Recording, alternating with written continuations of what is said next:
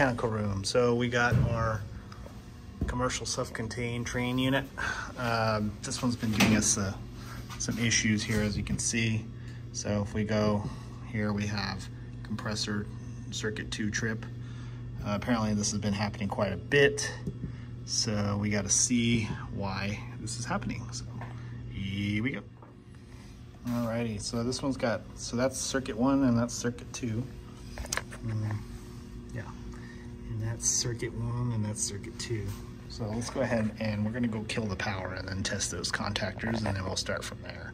But I know the compressors work because I was here before and they work. It just randomly trips for some reason. Alrighty, AC number two is ugh, off. Alrighty, so first things first, we wanna make sure that we have the power is actually off. This is a three phase unit, so we go, we're gonna go count that one, two, and three, all right, just so you know what I'm doing. So I'm gonna go one and two, nothing. I'm gonna go three and uh, two and three, nothing. I'm gonna go one and three, and we got nothing. So power is confirmed off. Alrighty. So this is the guy that keeps tripping. Um, I suspect, because this has been an ongoing problem, so I suspect that we have an issue with this contactor, and I'll show you why. Um, so let's go ahead and get set up for this, because I'm gonna need to get this set up. All right, so we wanna go ahead and we wanna check our contacts on these guys. So it's very important with three-phase units that all the contacts are good. So just bear with me here. Okay, so we got one. I'm gonna push in the contactor. And, all right, so we got low resistance, that's good. Okay, we're checking number two. Okay, so it's a little bit higher, still tolerable. And we're gonna check number three, same deal. So, like I think is we have a high resistance, so it ends up tripping the unit on probably high amperage or high heat or something. Anyway, uh, we're gonna go ahead and replace this contactor and we'll see what happens. So here's our new contactor. Now you can see there's something different here. It is three poles, but on our original one here, I'm on focus. Our original one here, we have this little side piece. So we actually have this little side piece that we gotta install. Basically, this just proves that the contactor actually closed and it should just clip right onto the side of the new contactor. So we'll get that prepped first and then we'll go ahead and change it out. But yeah, you can see that's how that works right there. So when the main contactor closes, it actually flips this and closes these contacts and that's how it knows if uh, something's open or closed. It's very important to pay attention because in this case we have two of them. One of them's normally open, one of them's normally closed, so we need to make sure we use the right one. This one you can see here, here's the little side of it. You can see that part moves. That's where this guy's gonna clip on. So you can see here, there it is, a little white spot. So what we're gonna do is just pops in there like that, pops in like that, and then we slide it forward. Okay, just like that, clip that, clip that, and we are good. So now we can see that it is good.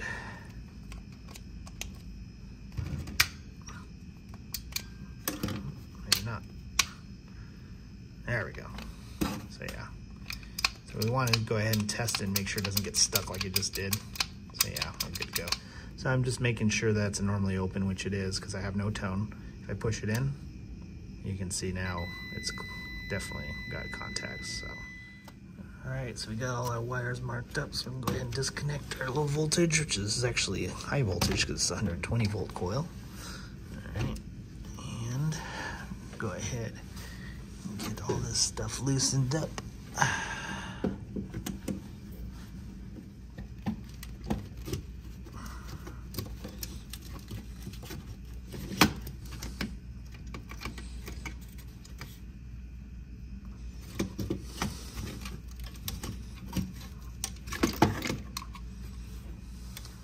Three-phase compressors, the phases actually matter, so you want to make sure you put them back the same way it started.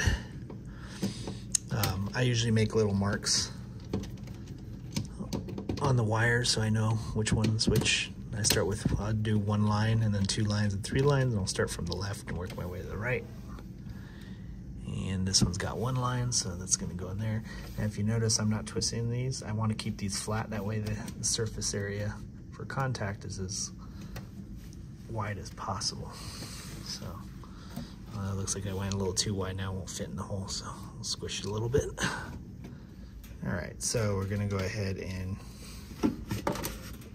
check our resistance levels on our new contactor. Uh, I'll check terminal three. Try not to boggle my hand. You can see it's pretty much zero now. And terminal two, zero, terminal one.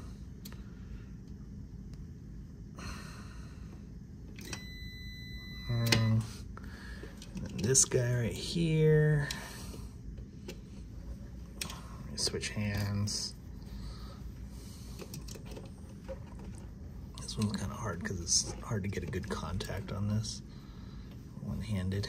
Um, yeah, there we go. Yeah, so that's pretty much, true. there you go. It's pretty low, so we should be good. We'll go ahead and check this other one too. That's good. That one's a little high. It's not ridiculous. Might actually have to, that one's good too. So here's our old contactor. You can see it's, it's pretty burnt up. It's weird that it's the middle one because the one on the end was the one that gave us the highest resistance, so that's strange. Anyway, that can cause this unit to trip, so we'll go ahead and uh, get this back together and see what happens next. Alrighty, so we got the power back on. We got our inrush set. Um, so what we do now is we want to test it. So first things first, service mode, okay? Uh, we want our fan at 100%, okay? So we're gonna hit next. And then, that, okay, that's fine. Want to make sure that's drive max. That's gonna open up all the VAVs. So I always turn on the blower first, that way, and let it run for a little bit. That way all the VAVs have time to open up. Because uh, otherwise you're gonna have some major airflow issues. This is just if you want to turn it bypass other stuff, but we're gonna leave it. This is the compressor relays. This is our circuit two, that's circuit one. We're gonna leave those off. I want to make sure the blower is running. Uh, this is the hydronic heat actuator, so this uses hydronic for heating. Um, so that will adjust the variable valve to you know let the water in. Um, and then that's our economizer and that's the bypass relay. So yeah, we have a lot of different things we can do on here, but in our case, we're gonna keep her simple and we're just gonna turn on the fan. So once we've made all of our changes that we want, we're gonna go ahead and hit start test. And she's gonna start in three, two, one, zero. There we go. So this is our VFD. If we hit display mode, we can actually see our horsepower, uh, we can see our amp draw and the percentages.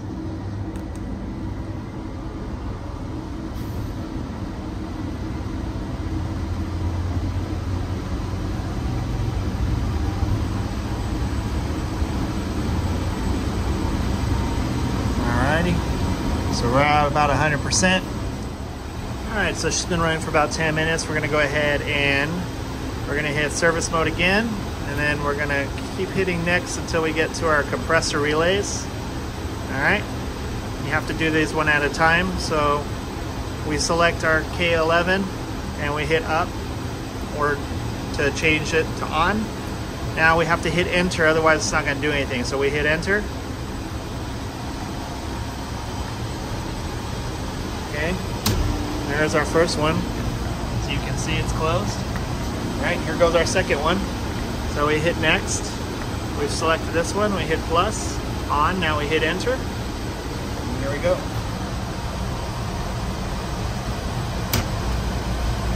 See our second one closed. And our start amps are 72.5. That's our inrush. Our run is about 12. All right, now to turn this off, we're gonna go ahead and hit down. And we have to do the last one we turned on. It won't let us do it the other way. We hit enter. Okay. And, whoops. All right, previous, down, enter. All right, now we hit stop to stop our test.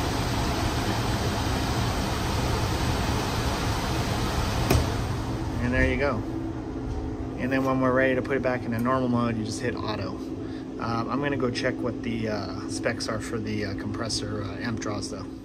All right, so this is our compressor here. So our locked rotor amps is 117. So I know our start amps are pretty high, but we should be okay because that's well below that. Uh, the run loads are 14.5, so that seems to be okay. Oh yeah, I almost forgot. So we hit the auto button. Now it's in normal mode. Make sure you go into diagnosis. Go ahead and clear this out. So we go, um, me show you again. So status, right? It goes uh, diagnostics, right? It's in the log, so we hit next, right? And then we hit cancel, and then we go minus, plus, plus, minus, enter, and now it's erasing it. That way we know it's not an old code when we come back to check on it. See, so if we go diagnosed, diagnostics, we hit next, you can see it's all blank now. So don't forget to do that after you, you know, because yeah, we might come back and, and see that and be like, oh, it didn't work, but it turned out it was just, you know, it was just I didn't clear it out. So don't forget to do that. Hopefully this helps you out. So thanks for watching. Make sure you like and subscribe, comment, tell me what a horrible technician I am. Hit that bell notification, follow me on Instagram, Facebook. Thanks for watching.